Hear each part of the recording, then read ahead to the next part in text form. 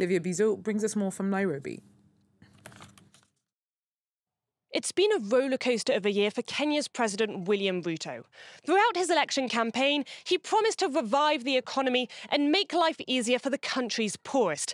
He became known as a hustler in chief and talked a lot about his humble beginnings, selling chickens by the roadside, for example. But since coming to power, he's increased taxes and prices have soared. And as a result, many Kenyans are struggling to make ends meet.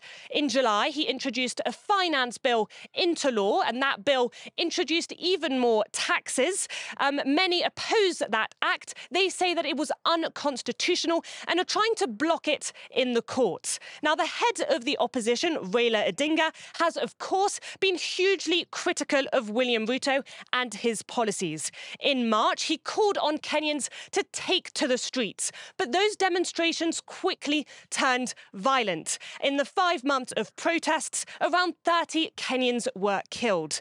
But it's not all gloom and doom. Ruto has brought some uh, good to the country. His supporters, for example, say that he's improved access to internet and that he's really pushed for more digitalization.